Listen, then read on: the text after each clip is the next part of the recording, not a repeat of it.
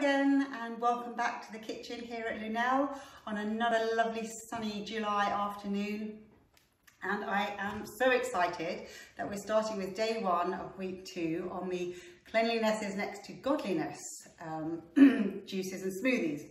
So we are starting off with green T Rex and I named it that because it's a really powerful detox smoothie to start you off with.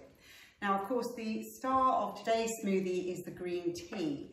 I don't know if you've ever blended with teas before, but it's a really interesting way to get lots of different antioxidants and polyphenols into your, um, into your daily routine. So green tea has been used for centuries by traditional Indian and Chinese medicine, and it's well known for its detoxing and liver stimulating properties. So I've already brewed my tea. I made it with a tea bag.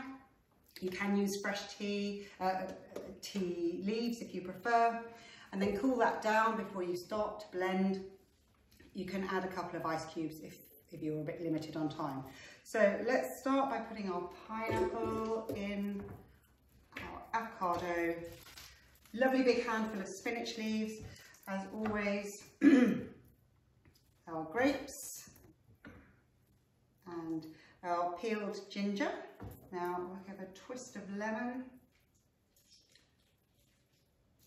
So the really interesting properties in the green tea is the catechin, which is really well known for preventing cell damage and for increased blood flow, which is what we're all about this week.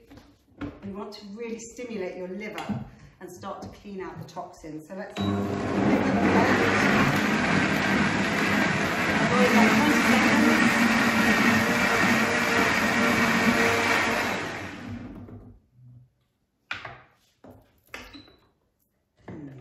So, take your special glass as always, pour in your lovely tea if you're having this in the morning.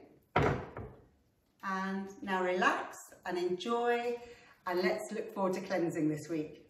Cheers!